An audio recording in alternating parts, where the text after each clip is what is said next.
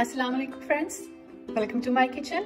आज मैं बना रही हूँ चिकन ड्रम स्टिक्स चले, हम देखते हैं, इसके लिए हमें किन इंग्रेडिएंट्स की ज़रूरत है। इसके लिए मैंने लिए हैं 12 chicken legs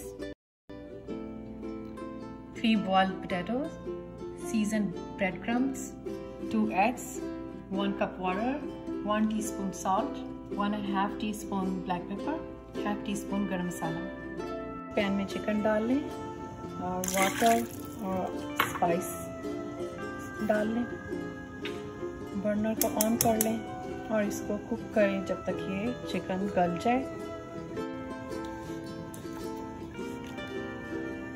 इसको हम कवर कर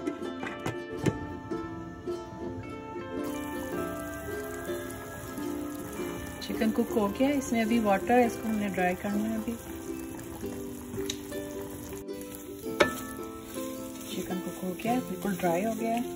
अब बर्नर बंद कर दें और इसको साइड पर रख दें ताकि ये ठंडा हो जाए। चिकन ठंडा हो गया है। अब हम मीट को बोन से सेपरेट कर लेंगे।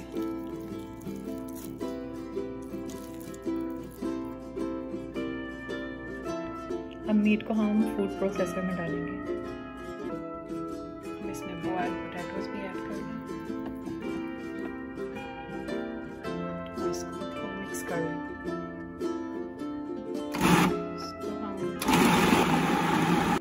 चिकन और पोटैटोज मिक्स हो गए, इसे अब बॉल में निकाल लें। चिकन का मिक्सचर हमने एक बॉल में ले लिया और ये बॉल्स हैं प्लेट में हैंड्स को थोड़ा वेट कर लें। थोड़ा सा मिक्सचर लें। और इसे साइड से प्रेस कर दें मिक्सचर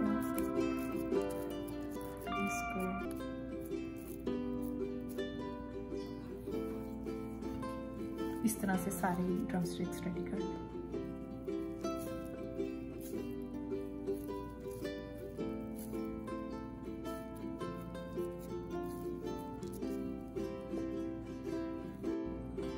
ये सब ड्रम स्टिक्स रेडी है। एक बॉल में एग बीट कर लिए और एक बॉल में हमने ब्रेड क्रम्स ले लिए। अब हम एक ड्रम स्टिक लेंगे एग में डिप करेंगे। कोटिंग चारों तरफ़ कर लेंगे। फिर इसको ब्रेड क्रम्स की कोटिंग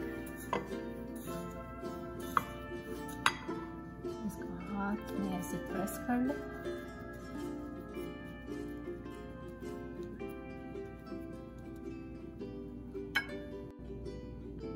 अब हम सारी ड्रम स्टिक्स को इसी तरह से पहले एग में डिप करेंगे और फिर ब्रेड क्रम्स की कोटिंग करके रेडी कर लेंगे। ये सब ड्रम स्टिक्स पर एग और ब्रेड क्रम्स की कोटिंग हो गई है। अब हम इन्हें डीप फ्राई करते हैं। ऑयल रेडी है, अब हम ड्रम स्टिक्स को फ्राई करना शुरू करते हैं।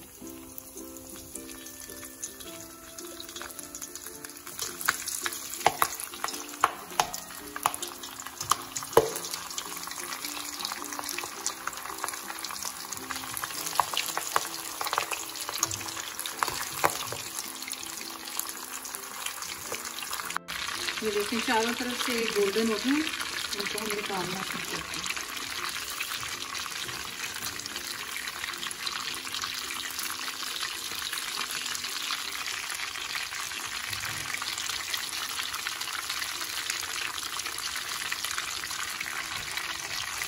ये चिकन ड्रम स्टिक्स रेडी हैं। प्लीज़ आप भी ट्राई करें और मुझे कमेंट करें आपको कैसी लगी। Thank you for watching